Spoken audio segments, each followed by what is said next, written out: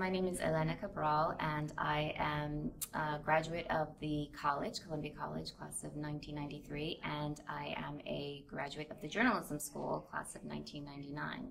Now I work at the journalism school. I'm an adjunct professor, and I run the part-time program, um, and I work in career services. So I um, sort of do the full life cycle of the students in terms of uh, guiding them when they uh, get in here, helping to select them, and then helping them to get a job when they are ready to graduate.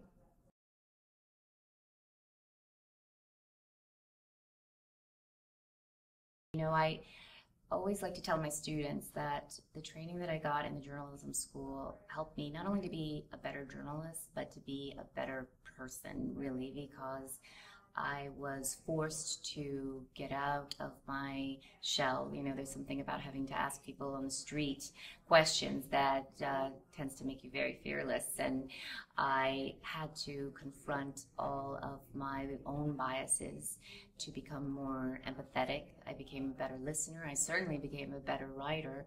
Um, and I asked the right questions, you know, um, and that helped me in all aspects of my life, you know. So um, I try to convey that to my students um, because I think that the experience, especially at this point in their lives, is one that is going to, you know, go in a million directions. You know, it doesn't have to begin and end in a newsroom. You know, they often uh, go on to do a lot of other things. Um, and uh, life is long. So, you know, uh, we like for them to be ambitious and to think about, you know, what's possible after this degree.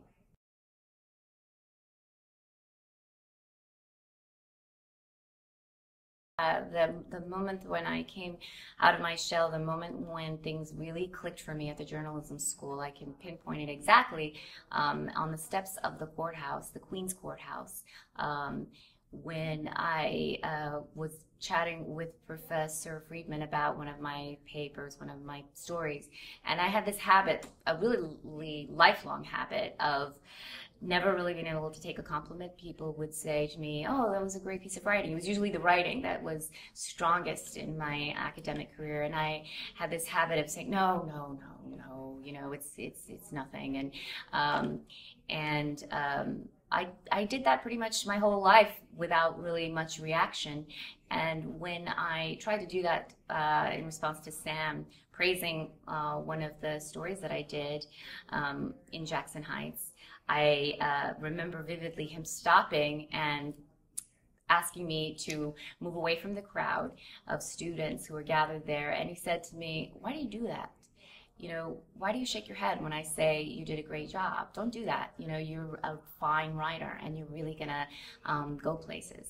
And that was the moment that it really sunk in that I am, I am really good and I can do this job. And um, it really changed everything. It was a big game changer for me.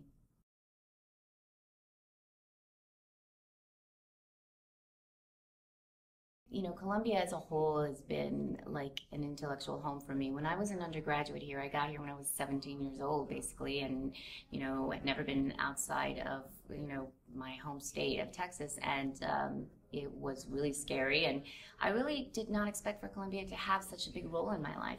Um, but every step of the way, from college to to graduating from journalism school to being an employee here um, and raising my family in New York and raising my family in the Columbia community, I realized that Columbia has really always had my back. It's always been supportive. It's always accepted me for who I am. It's always seen value in me as a person, what I bring to the table, my language, my culture, my background, my point of view.